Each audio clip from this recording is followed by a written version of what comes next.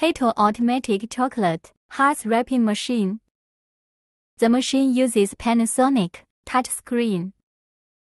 Automatic chocolate feeding system, computer programmed. Suitable for packing chocolate hearts in aluminum foil.